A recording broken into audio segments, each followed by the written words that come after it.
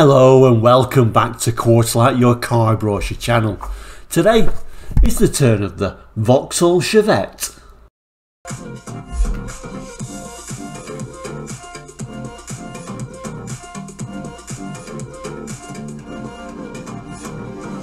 Welcome back and incidentally if you are into car brochures I'm sure many of us have been in the past or still are uh, please consider subscribing. It certainly helps the channel but more importantly I'm sure you'll find many interesting little things and key facts um, along the way.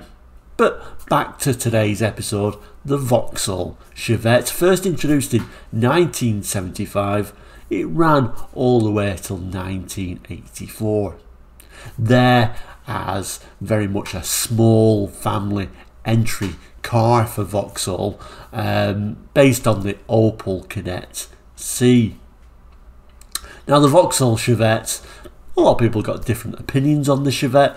I think it's got a little bit of a soft spot for me because my granddad did have one. I think he had a Marina and then he, he sold that and he got a Vauxhall Chevette for a small time.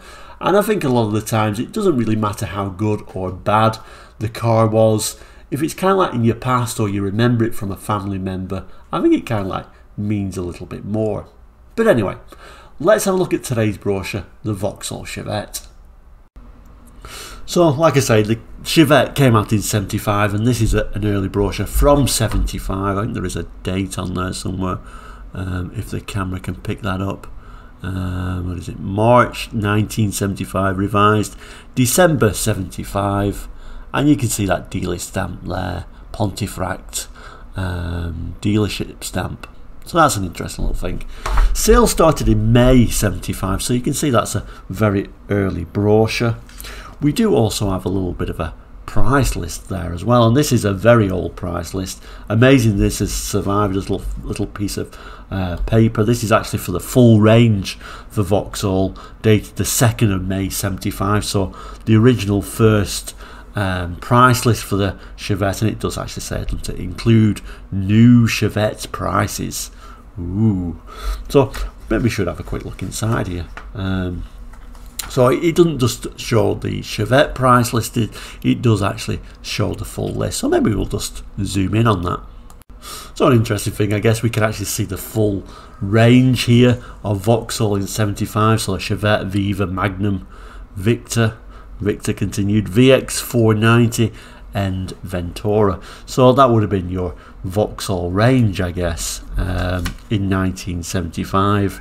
And a little bit of a list here. If you know you're interested in a car, you could get your dealer to fill that out and see how much it was going to be. But you can see Chevette right down there at the bottom of, uh, of the range, even lower than a Viva, amazingly. Let's just zoom in what the price would have been and you can say £1,593, 54 for that base model, um, for the L, $1,649 uh, pounds I do apologize and 70 pence if you wanted that nice starfire metallic paint.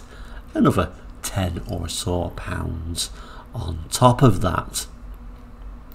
The Viva actually has got a lower starting price but you can see it goes all the way up to 1838 and 38 and the most expensive car at this time uh, 3038 for an estate so you can see uh, really what I'm trying to say is you know the Chevette was the most basic model and it was happy to stay in that position as being your, your base model. So there we go, we can see the Chevette then was the most basic model um, of the Vauxhall range. This is a 75 brochure um, we're not going to spend too much on this because in 75 there was only a hatchback and I wanted to really show more models and dust the hatchback. So it was advertised at the time as a sports coupe, a family saloon, a handy estate. So it was trying to do lots of different things, but of course later on we got in the saloon we got an estate. This was just how it started out. You'll also notice on these early ones um, how the headlamps are actually recessed. We'll look at a later one that them headlamps are actually flush. Another thing I wanted to just quickly look at on this particular brochure was these amazing seats.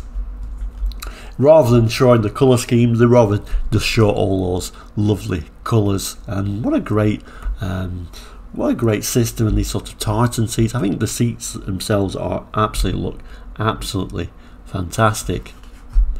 Also at this time, we've got the Chevette, Chevette L and the Chevette GL. So just three models in the lineup, a 1256cc engine. But like I said, I don't want to spend too much time on this brochure because today's brochure is actually going to be this one from 1982.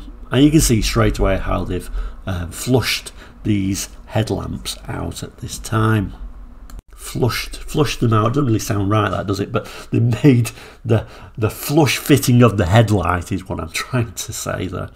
Um, so that happened in '79. 76 we got an estate in September, and I think the saloon um, also came out in 76 around about I think they were June 76 they came out. So this is an 81 82 brochure. So we can see all those different models and that's why I decided to choose this particular brochure to highlight the Chevette. And we can see, see straight away this would be the top of the range model. Um, we'll also look how the uh, the range changed by this stage because there's a few more different uh, models in by this stage. And also we can have a glimpse at these new models we've got so a four door and a two door saloon. And as it says a great name in value motoring it was all for value for money. Um, but let's have a quick look at some of this text so here it's saying few cars have so consistently held popular esteem as the Vauxhall Chevette and for 1982 there's even more inbuilt value and completely new interiors that enhance the Chevette's modern appeal. Stylish, economical to run, great fun to drive and four-seater comfort, generous load space and well-proven reliability. It's easy to see why the Chevette is constantly among the top best sellers. And I think between sort of like 1975 78, I think it was, or really at the top, I think it may even been the UK's best selling hatch um, between those dates. So it certainly was a popular car, it did very well. Its appeal is wide, attractive to young and experienced drivers, both male and female. Its 1300 engine produces plenty of power when you need it. The road holding and handling still set it apart from more mundane competitors etc etc and it goes on to tell us a little bit about the range. All the Chevette's virtuals are evidenced in three body styles smart saloon sporty hatch and capacious estate. Depending on the model you choose, there are four levels of trim and equipment to ensure there's a Chevette that's just right. From the Super Value ES through to the luxurious GL. What's more, if you like the extra refinement of the auto transmission, you can specify that too on the L and GL models and we'll of course look at some of those um, uh, specifications and the different models as we go through this brochure. Um, I think on this front page it's showing that's the Chevette L, that would be the Chevette E, and the super super basic ES, um, which was introduced later to become even lower than the E. But we'll have a look at that in more detail later as well. But like I said, super basic you know, even down to chrome bumper. Now we're just got a plain black one. And this would have been your range topper, the Chevette GL. Um, one of the things I did used to like about these Chevette uh, saloons, I can't remember which side it was on actually, but this little flap, either on this side or the other, used to open up and the little gas or petrol cap used to be hidden behind there. And I quite used to like that. It was a little nice little touch to hide that away. I never know why that didn't really catch on in other models, um, why they stopped hiding the gas cap. I presumed it was for some kind of safety reason, but if you know, jot that down in the comments, that'd be interesting to have a look at. And then it goes on to say, uh, fully refined plus dependable virtues.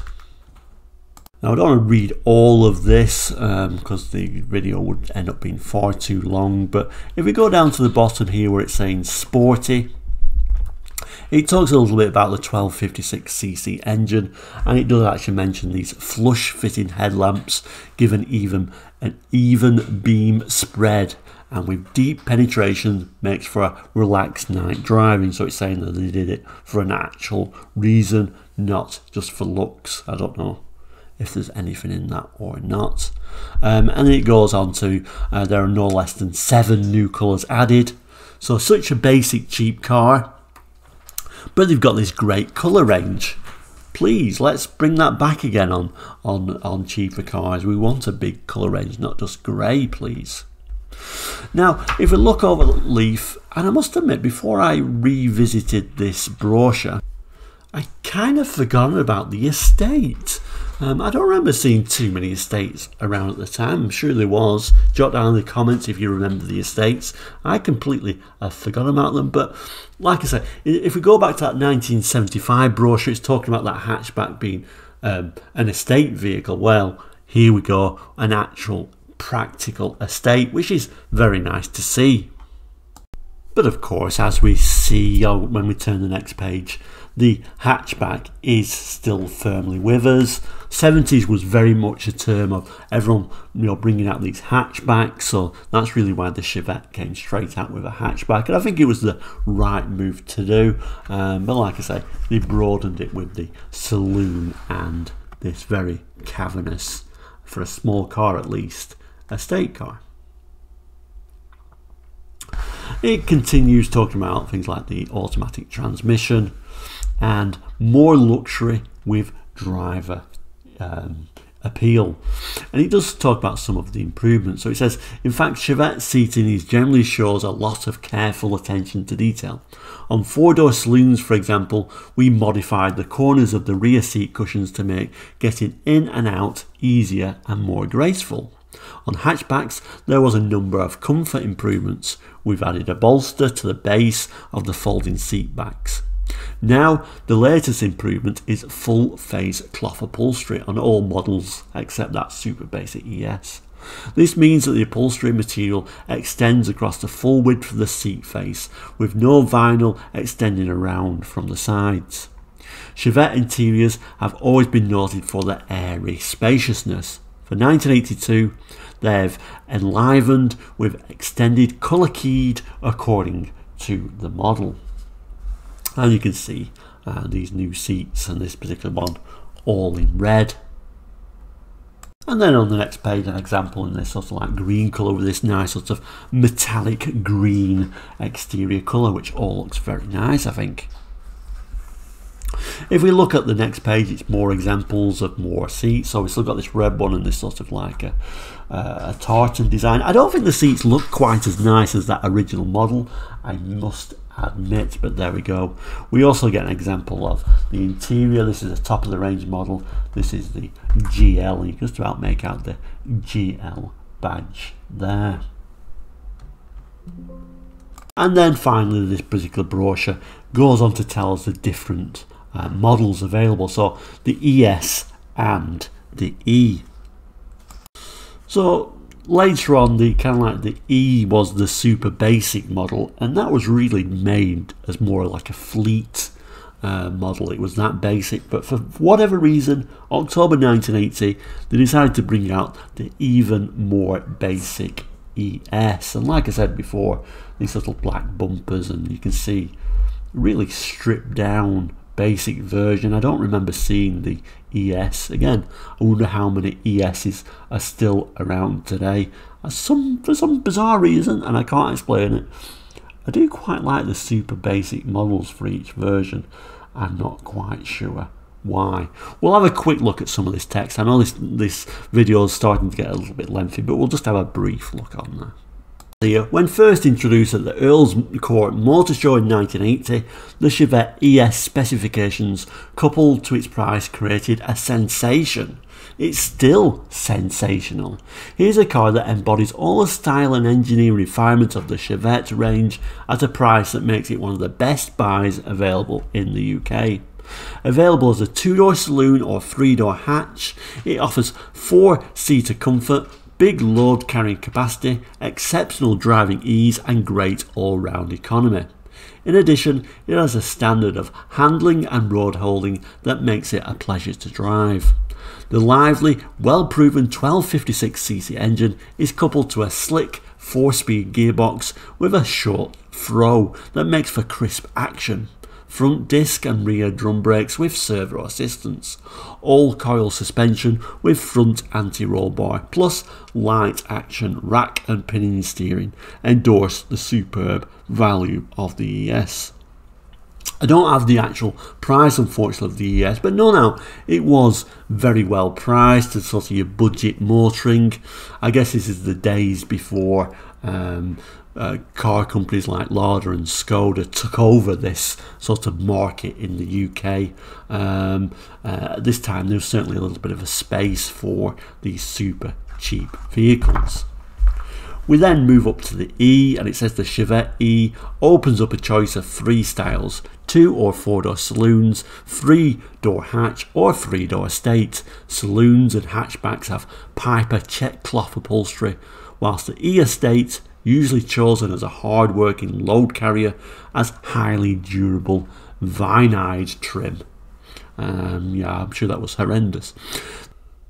We've then got the Chevette L in this sort of green colour with a nice metallic green which looks quite nice and we get a little bit of a glimpse of that basic interior on the L. We kind of like always think of the L as being the base model but here it's you know we're three models up aren't we to get the L um, but still it's not hugely well equipped it says the Chevette L model provides that blend of extra refinement and comfort to make them outstandingly popular.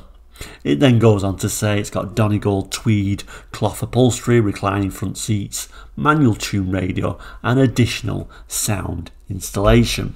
There's no shortage of comfort and convenience either, and with a driver's door, po door pocket to hold a host of oddments, a vanity mirror, and a quartz clock. On the road, you'll appreciate the dipping rear view mirror and wipers with intermittent wipe action, together with a heated rear window, radial ply tyres, reverse lights, and hazard warning flashes. And it goes on to say you can also have an automatic. Of the range, the GL, and these nice sort of red seats I particularly like. Again, this is a little GL badge. Let's just zoom in a little bit actually on these pictures. So yeah, top of the range, you just about make out the GL badge like I was trying to say. Um, and you can see the practicality of the estate with these folding rear seats. On the saloon model shown here, you've got sort of a little black area at the back to show that this is the uh, uh, range topper and these very nice wheels actually. It says please note road wheel styles may vary from that shown but I do particularly like these little wheels on there, they do suit the car. So he says the Chevette GL. This is a Chevette that provides luxury car needs, not necessarily be big. Discreet extra bright work, body side protection mouldings and distinctive wheels immediately identify this top model either in four door saloon or three door hatch. Inside, dapple velour upholstery confirms the luxury Front seat head restraints are adjustable for height and angle. The push button radio is a GL feature, together with a cigar lighter, a centre console and tray. In addition to cloth inserts, lower door sections are carpeted to obviate scuffing and both front doors have useful pockets. The saloon has boot mat and boot light, whilst the GL hatch has a fully carpeted load deck and hinged load cover which can be easily stored. Extensive colour key throughout enhances the light airy spaciousness of the Chevette GL, which combines top luxury with high standards of overall running costs. I kind of like think when we're looking at this top of the range model, it kind of like shows the shortcomings of the lower spec models rather than showing this as being a high spec model. In addition to cloth inserts, lower door sections are carpeted to obviate scuffing, and both front doors have useful pockets. The saloon has boot mats and a boot light, whilst the GL hatch has a fully carpeted load deck and hinged load cover which can be easily stored.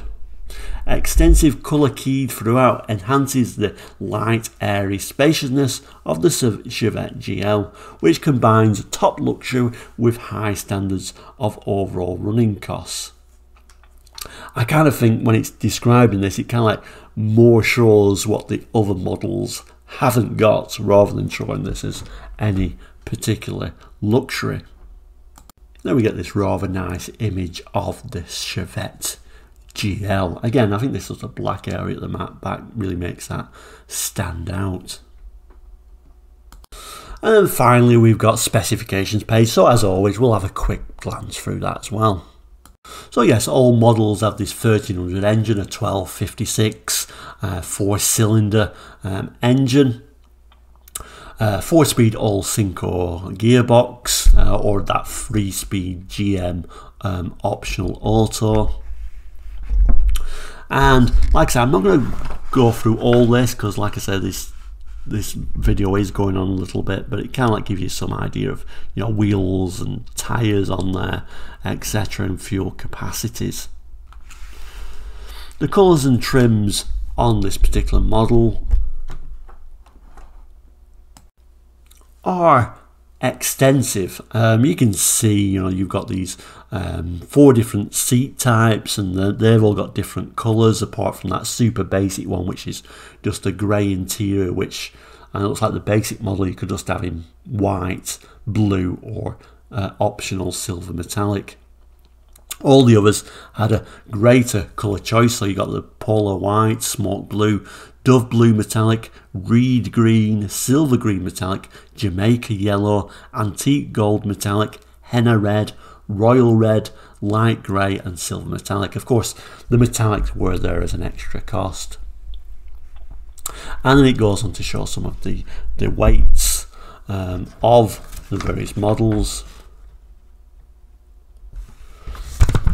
and then it shows the Chevette range equipment. We've mentioned it as we've gone through the uh, brochure, but if you want to pause the screen to look at a more extensive list of what was available, here it is.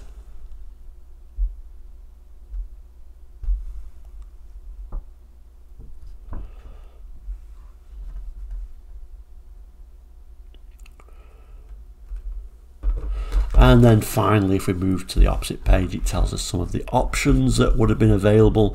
Um, it says static rear seat belts are now a new option for 82.